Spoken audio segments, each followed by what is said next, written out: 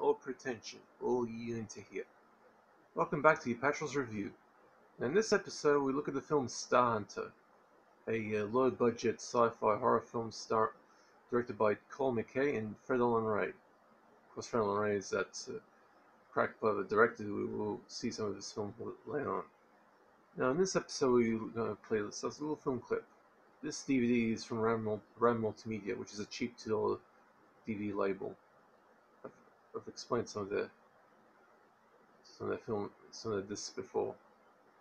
Okay, let's pick a chapter. Now it's on mute, so you can hear my voice. Alright. Now, now for the story. A group of high school students being driven home from a losing football game by their coach when their uh, minibus breaks down a rough part of town. They attempt to find help but encounter a blind man who claims to be a hunter. The man turns out to be an alien creature who's just escaped from an alien prison and is on Earth to hunt humans as game. He activates a force field that keeps the students trapped within a city block of abandoned buildings in a rough part of town and sticks on them his hunting tool, the Star Hunter, an alien robot that hunts by sonar waves and is almost impossible to destroy thanks to its regenerative powers.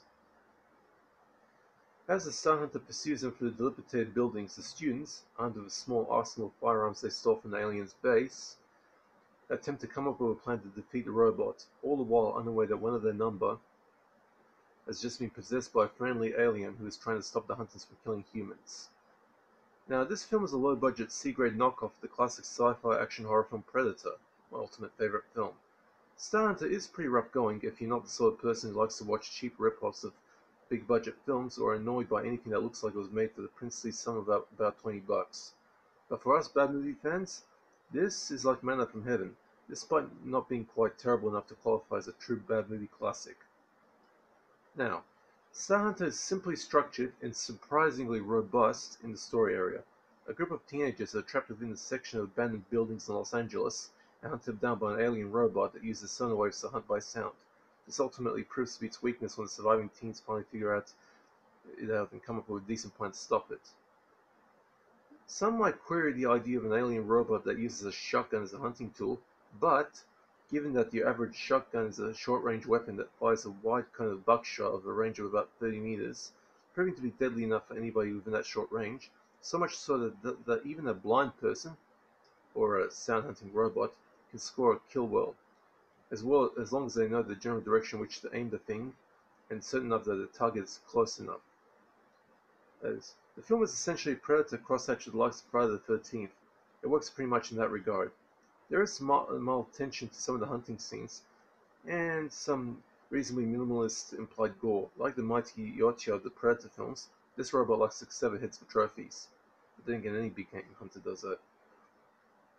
If you watch this later on in the scene where the teens throw the Molotov cocktails at the robot, listen carefully and you can hear the guy in the suit cry in pain when one of the firebombs hits in the back of the head. I was laughing my head off when I noticed that.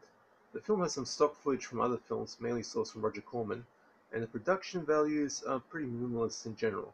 While the film lacks the professional polish and the budget to elevate it anywhere above being utterly mediocre, it is however decent enough to warrant not being labeled a true bad movie at least not a terrible one, despite having some of the trademarks of 1990s C-grade bad movies. The acting is pretty lame. Stella Stevens and Roddy McDowall must have been really hard up for the money to star in this one. And the story drags whenever we turn over to see what the cops and local precinct are doing. And the visual effects, given the budget, uh, expectedly terrible.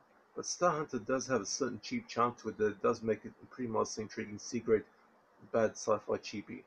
As for the gore, there are some severed heads but little blood and almost no gore.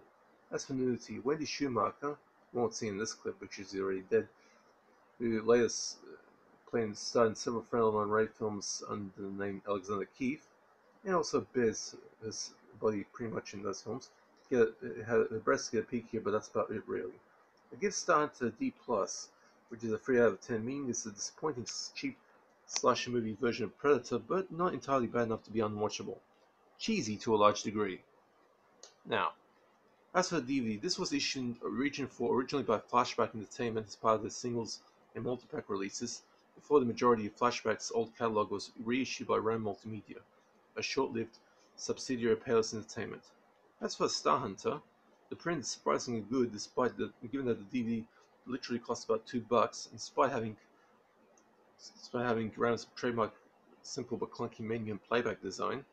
The first chapter is not listed in the chapter selection submenu. Once you begin playback, you cannot skip back a chapter, forcing you to manually backtrack in order to rewatch something. The disc is pretty effective enough to be either a bargain basement bargain or guilt-free novelty coaster. Your choice. Like I said, it's a D plus, so I mean, so the that's Roddy McDowall right there, and that's these effects. Like I said, these effects are pretty terrible. But then again, this is like low budget 1990s stuff. Now I'm gonna put on the sound, so you just watch the rest of this clip.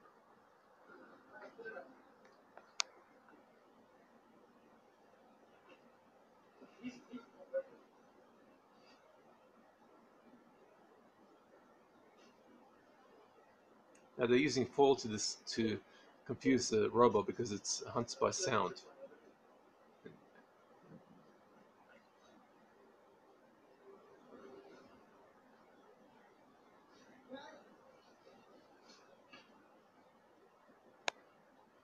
This motion is a little stilted, I apologize.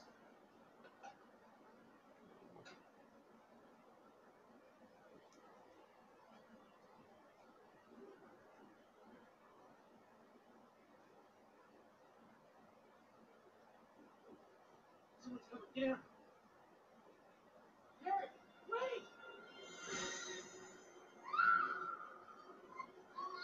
Actually, pretty stupid trip over that.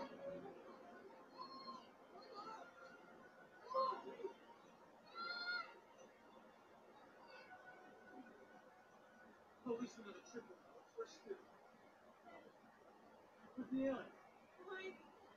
Alright, look, everything's set up. We hide behind those Okay, let's go. There's that sucker. Now, in order to kill the alien, it has an amulet around its neck, which is a, uh, which provides regenerative powers. In the end, they practically crack that thing.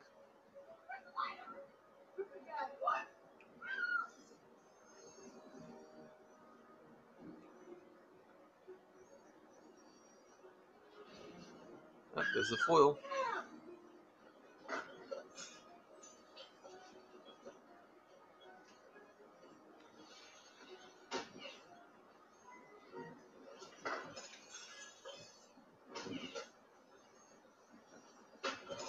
There, there he goes. He yells out in pain.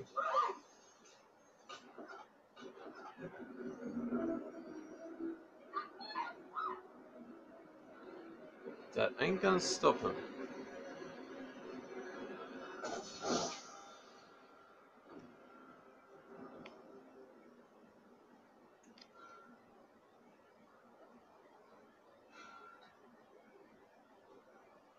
What are we doing hanging around? I don't trust it. ain't dead. Forget it. We won, okay?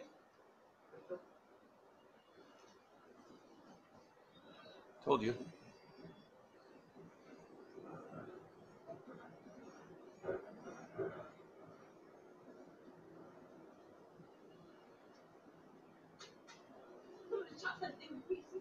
Good luck trying that. Won't work. This has rock.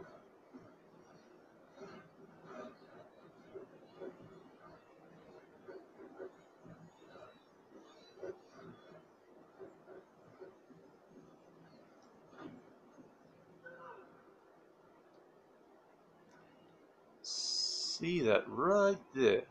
That's where the amulet is.